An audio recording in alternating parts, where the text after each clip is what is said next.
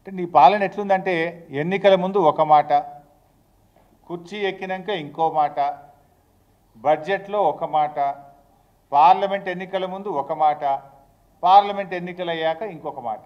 పూటకో మాట నీది పొద్దుతిరుగుడు పువ్వు కంటే వేగంగా మారుతూ ఉన్నావు.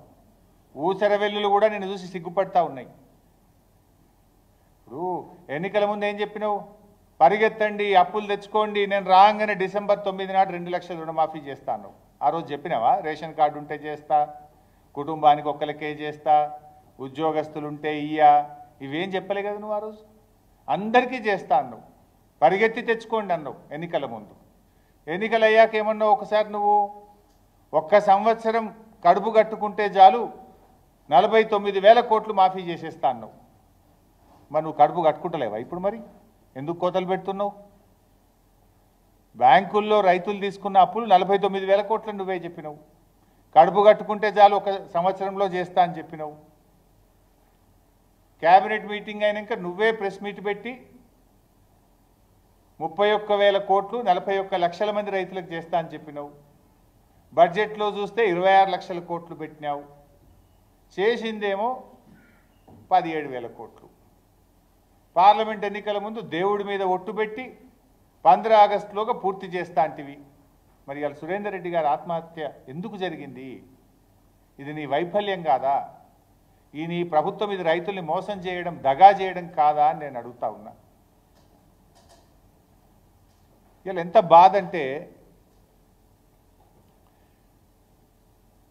తల్లికి పిల్లల మధ్య గొడవ పెట్టివి తండ్రికి పిల్లల మధ్య గొడవ పెట్టివి నువ్వు. నువ్వు ఇవాళ ఏం చేసినావు? కుటుంబ బంధాల మధ్య చిచ్చు పెట్టినావు. నీ దరిద్రపు గొట్టు రాజకీయం నీ కోతల వల్ల కుటుంబాల మధ్య ఇలా చిచ్చు వచ్చే పరిస్థితి ఉంది. రండన్న. మీ పాలనలో కుటుంబ బంధాలన్నీ కూడా చెడిపోతూ ఉన్నాయి. నీ పాలన వల్ల కుటుంబ బంధాలు చెడిపోతూ ఉన్నాయి. మా కేసీఆర్ గారి పాలనలో తల్లులను పిల్లలు సరిగా చూడడం లేదని వృద్ధులను పట్టించుకోవడం లేదని రెండు వందల రూపాయలున్న పెన్షన్ను పదంతలు పెంచి కేసీఆర్ గారు రెండు వేలు ఇచ్చి కుటుంబ బంధాలను బలోపేతం చేసిండు కేసీఆర్. కానీ నువ్వు కోతలు పెట్టడానికి రుణమాఫీ డబ్బును తగ్గించడానికి కుటుంబాల మధ్య చిచ్చు పెట్టిన చరిత్ర కాంగ్రెస్ పార్టీది రేవంత్ రెడ్డిది. కుటుంబ బంధాలను బలోపేతం చేసింది కేసీఆర్ అయితే కుటుంబ బంధాలను తెంపుకునే విధంగా చిచ్చు పెట్టే విధంగా నువ్వు చేసినావు. ఇవాళ సురేందర్ రెడ్డి గారి సూసైడ్ నోట్లో ఏముంది? నా తల్లి గారు కూడా నా చావుకు కారణమని రాశాల్సిన పరిస్థితి తెచ్చినావు. అసలు తల్లి కొడుకుల మధ్య చిచ్చు పెట్టి పాటు చేసినావు కదా ఇంత దరిద్రమా?